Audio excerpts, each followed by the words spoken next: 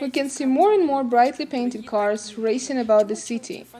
I can understand why men are so crazy about aerography, but I just had to learn how it's done.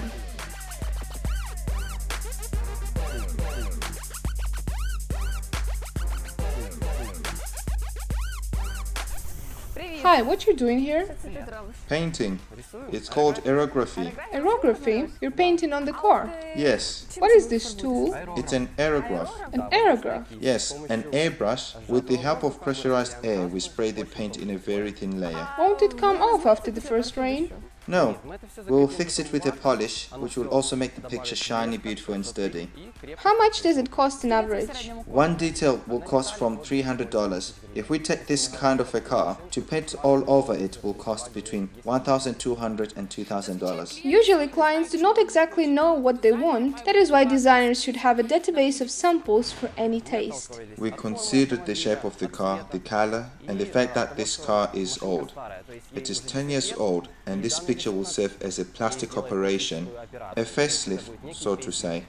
Can I have a try? I'd really wanna try. I don't see why not, but let's ask the owner. Hi, would you mind if I paint a little on your beauty? Not really, just make sure you do a good job. If you push the lever down, you get a flow of air. If you pull the lever towards yourself, you get a flow of paint. If you bring it close to the surface, the line becomes thin. If further, the line becomes wider. Well, now is the time to do things for real. Real paint, a real car, and me as an artist.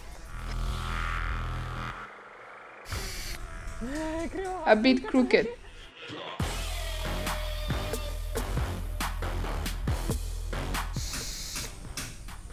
Блін.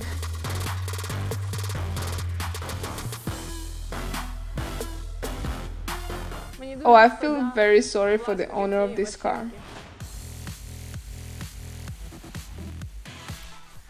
And for long-term projects, a car is placed in a special box with many extractors and special equipment, and also where dust does not get onto freshly painted surface. This car will need from 2 to 3 weeks to become a real beauty. Everyone goes crazy in their own special way. Among interesting orders, these guys had to do aerography on a pair of crutches and some artificial limbs. I decided to risk my mobile phone.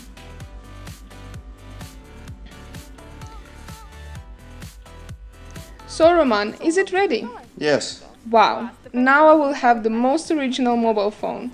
Thank you. I can make a conclusion that this is not just a way to show off. Aerography can really breathe a new life into an old car. So for those who are not afraid to express themselves, this is exactly what they need. look at what they drew on the car.